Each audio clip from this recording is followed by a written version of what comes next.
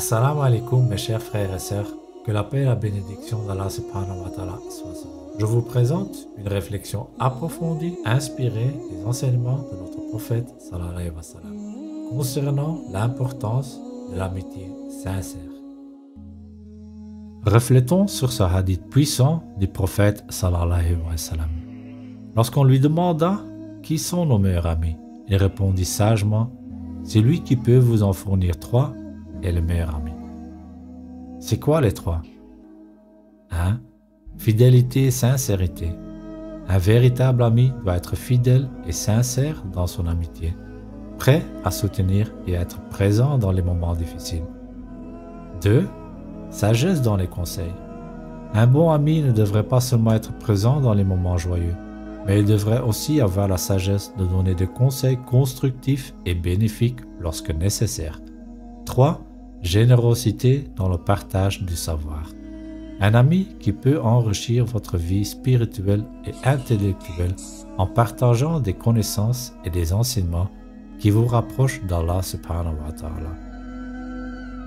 Cherchons des amis qui, rien qu'en les regardant, nous rappellent Allah subhanahu wa ta'ala.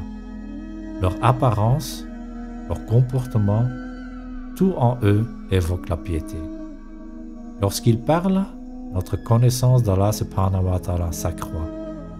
Recherchons des amis qui nous motivent spirituellement, nous rappellent constamment notre responsabilité envers Allah subhanahu wa ta'ala. Le prophète sallallahu nous a avertis d'un temps précédent le jour du jugement, où les gens exprimeront amitié et fraternité, mais seront des ennemis de l'intérieur. Choisissons des amis dont l'apparence rappelle Allah subhanahu wa ta'ala dont la parole augmente notre connaissance et dont les relations reflètent la responsabilité.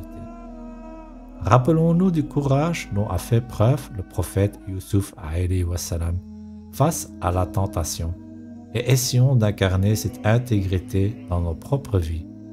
Prenons exemple sur sa force morale lorsqu'il a été confronté à des défis similaires essayons d'appliquer ces principes dans nos actions quotidiennes. Que chacun de nous trouve de l'inspiration dans ses paroles. Essayons de devenir de meilleures personnes, montrant au quotidien la beauté de notre foi islamique. Que notre comportement reflète vraiment ce en quoi nous croyons, en préservant notre manière de vivre selon les enseignements d'Allah subhanahu wa ta'ala et du prophète sallallahu. En priant à Allah subhanahu wa ta'ala de bénir notre chemin J'espère que cela nous mène vers une vie pleine de bienveillance et de vérité. Amen. Merci d'avoir regardé et n'oubliez pas, abonnez-vous et à la prochaine fois, Inch'Allah. Assalamu alaikum wa rahmatullahi wa barakatuh.